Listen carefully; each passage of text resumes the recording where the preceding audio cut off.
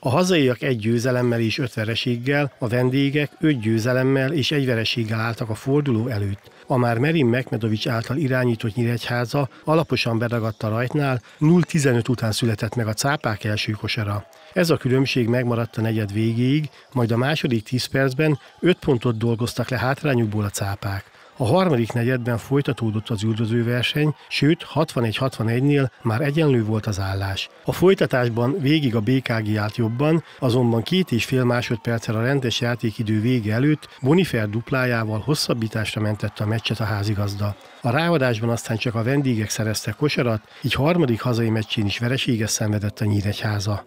Ha valami, van egy csapat, aki nem kívánta Mers a meccsen, ez biztos BKG lenne, ismerem a kollégát, ez egy nagyon összeszokott csapat, magabiztos csapat, látszik a tabelán is, hogy jó állnak, és nekik ez a meccsek jó. De mondom, hogy jól reagáltunk erre, amit ők csináltak, jó készültünk, srácok mindent adtak bele. Ez egy nagyon pozitív jel most a, a, a Magyar Kupa, és valahogy nekünk kell egy győzelem. Ez a csapatnak egy győzelem kell, hogy egy kicsit lelkileg és a, mentálisan kiszabadulunk, és tudunk tovább normálisan dolgozni. Remélem, hogy kedden tudunk ezt megcsinálni. Biztos ez, hogy ez a helyzet, amiben most vagyunk, ha akarunk ezt a, kiugrani, vagy felépni a pozitív periódusból, itt kell higaton sok munkával, türelmesen várni és a megcsinálni saját dolgát.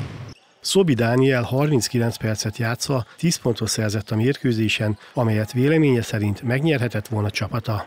Kétszer vesztettük el ezt a meccset, ha lehet ilyet mondani, hiszen a első negyedben már akkor a hátrányra tettünk szert, ami, ami általában ilyenkor egy vereséget hordoz magában, viszont sikerült onnan felállnunk. Én belülről már azt hittem, hogy meg lesz. Nagyon közel voltunk hozzá, kiarcoltuk a hosszabbítást, úgy gondolom még esélyünk is volt megnyerni a rendes játékidő végén. A hosszabbításban pedig hát azt már akik a kosárlabdázók szeretők tudják, hogy ott már, ott már tényleg egy, egy-két momentum és, és ö, gyakorlatilag vége a meccsnek. Sajnos olyan három pontosok estek be az ellenfél részéről, dudaszósok, amikor, amik egy igazából véleményem szerint jó védekezés, jó védekezés után gyakorlatilag kés a szívünkbe is megforgatva. Az, hogy most 10 pont lesz közte, nem, nem reális szerintem. Ez egy nagyon szoros meccs volt, nagyon sajnálom, mert, mert úgy érzem, hogy mindent megtett a csapat.